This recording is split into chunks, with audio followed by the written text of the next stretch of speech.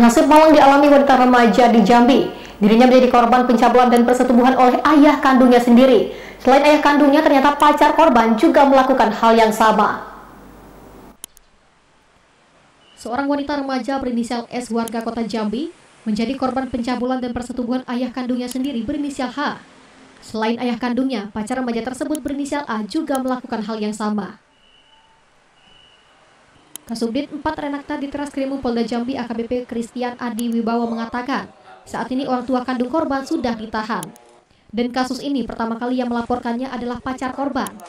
Namun setelah dilakukan penyelidikan, ternyata pacarnya tersebut juga melakukan pencabulan dan persetubuhan terhadap korban. Ini sedang melaksanakan proses penyidikan, ya, penyidikan terkait dugaan uh, percabulan dan persetubuhan terhadap korban ini berusia 14 tahun, inisial S, dan saat ini kita sudah melakukan penahanan terhadap orang tua kandung ya orang tua kandung A, inisial A yang dilaporkan peristiwa ini dilaporkan oleh uh, pacarnya. Ya oleh pacarnya. Ternyata setelah proses penyidikan yang kita lakukan pacarnya juga melakukan pencabulan dan persetubuhan terhadap korban. Setelah mengetahui bahwa pacar korban juga terlibat, polisi langsung melakukan pengembangan untuk mengetahui posisi pelaku.